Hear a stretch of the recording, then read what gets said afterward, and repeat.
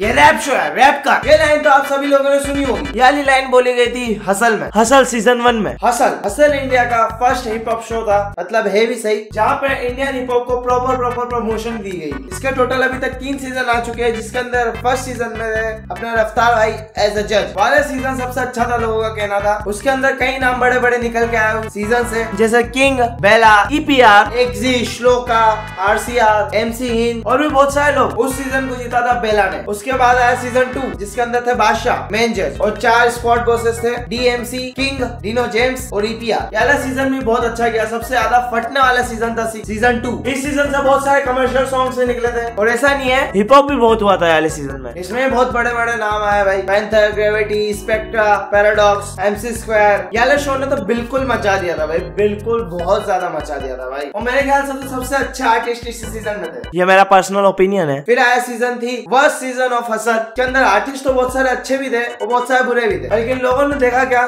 कि इसके अंदर अपन कमर्शियल गाने फाड़ रहे तो ज़्यादा लोग का पोष रहा तो उन्होंने सोचा कि सिर्फ़ कमर्शियल कमर्शियल कर दे। यहाँ पे इन लोगों ने गलती कर दी। सारे आर्टिस्ट लोग भी ट्राई करने लग गए कि हम जितना ज़्यादा चाहे उतना ज़्यादा हम कमर्शियल बनाए ताकि हमारा वाइडर एरिया हो। इस सीज़न में जज अपने बादशाह भाई थे मेन जज वर्सेस बस एक चेंजेस हुए थे। किंग भाई की जगह इक्का भाई आए थे। और इस मामले में मैं इक्का भाई को बड़ा ही मानता हूँ भाई, उन्होंने वाली जगह ले ली। क्योंकि वो लायक तो जज के ही थे मेन जज के। उनको बादशाह भाई के साथ बिठा देना चाहिए था। या फिर बादशाह भाई को हटा के भी लगा सकते थे।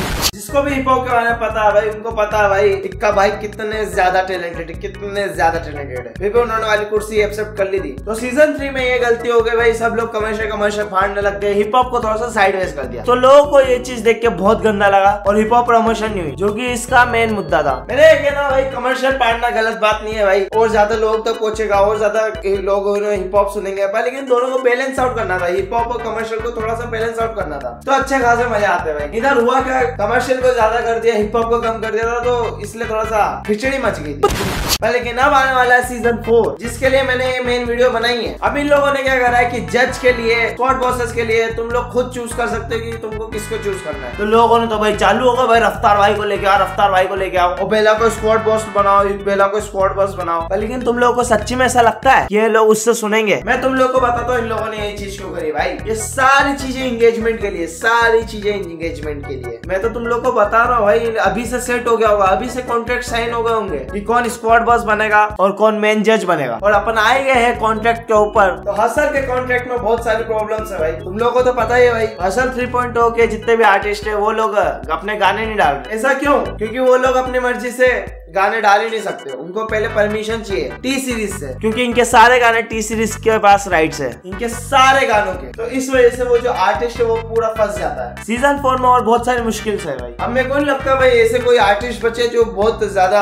इम्प्रेस कर सकेंगे क्योंकि तुम लोग सोचो भाई अब कौन कौन आर्टिस्ट है भाई ऐसे जो अपन को इम्प्रेस कर सकते हैं भाई? क्योंकि मैं जिन लोगों को जानता था वो लोग सब असल में आ चुके हैं। और बाकी जो लोग है वो लोग अपनी दुकान चले ही रहे biggest time is Dhanji Dhanji भाई भी गए थे अपने फेम को चेस करने। सॉरी हाँ अच्छे से बोलता हूँ। अपने धनजी भाई भी गए थे। असल में गए थे वो भी फेम को चेस करने के लिए। पर वहाँ पे क्या कुछ जमा नहीं क्या? उन लोगों के यहाँ पे स्टिकर लगा दिए थे। वो बोल रहे क्या मैं मैं क्या साला जेल में हूँ क्या? ए? क्या मैं क्या कैदी है? जहाँ पे मैं थोड़ा सा डिसएग्री करता हूँ धनजी भाई से यार। रफ्तार भाई ने भी बहुत सारी चीज़ें करी है। उन्होंने भी स्टिकर लगाया भाई यहाँ पे। बाकी बिहाइंड सीन्स क्या क्या हुआ अपन को पता नहीं जाता तो अपन कुछ बोल नहीं सकते उस मामले में। और अभी सीन में जो प्रमोट कर रहे हिप हॉप भाई वो ओहो सीन चेंज ही कर रहा है भाई। ओहो सीन चेंज सीज़न टू में ही होप्स लगा सकते हैं अपन जहाँ पे रियल हिप हॉप को प्रमोशन हो सकेगा। और जो जियो सिनेमा में निकाला था की भाई आप अपने हिसाब से चूज़ कर सकते हो तो भाई फिर तो ये पक्की बात है भाई। रफ्तार भाई जज होंगे और एक स्क्वाड बॉस अपने बेला भाई होंगे। और अगर ये चीज़ नहीं हुई तो ये सब झूठ है भाई। ये सब कुछ एंगेजमेंट के लिए था,